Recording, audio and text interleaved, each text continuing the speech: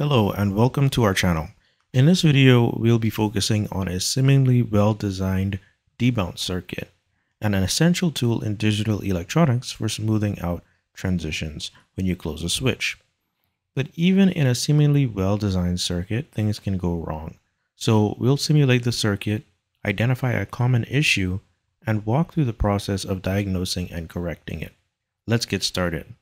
Let's begin by running a simulation of our circuit. Here we go. So if we go to the simulation dashboard, start verification, and then set analysis setup and run, we can go to transient, set the start time from zero seconds and the end time to three seconds, then hit the run button. It looks like we're facing an unexpected error. This problem is commonly caused by dangling lines. To fix this, we'll add a 10 mega ohm resistor in parallel with V out to ground. So let's go to the icon where we can simulate, where we can select simulation generic component, look for resistor, double click spacebar to rotate this, double click on the component and give it 10 meg you have to type in meg as opposed to m. M will just be interpreted as milli. Then use Control W to wire the circuit. You can right mouse click to end the wire. Select a ground symbol and copy and paste it, or you can place one from the top bar. Then we'll go to Tools, Annotation, Annotate Schematics Quietly, and click Yes. Now that we've added this resistor, let's run the simulation again. So go to simulation dashboard and hit run. Okay, so now we're facing a new issue. The simulation runs, but we have an inadequate time constant.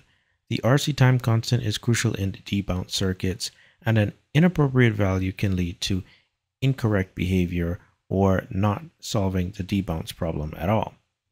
Let's correct this by adjusting the circuit RC time constant. If you're unsure about how to calculate it or simply need a quick answer, running a parameter sweep of the C1 capacitor is a great way to go. Let's set up the settings and run the simulation. To do that, go to the Simulation Dashboard tab, choose Sweep, select Settings, choose your sweep parameter. We'll set it to C1, and let's say we want to go from 10 picofarad to 22 microfarad with a step size of 1 microfarad. Click OK. We've set the settings and we can run the simulation. Now, from the results, we can see that the output voltage is no longer affected.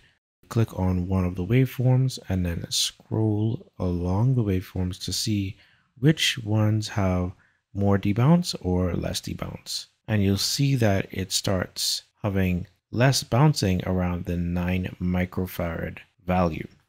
So let's adjust C1 to a 9 microfarad capacitor.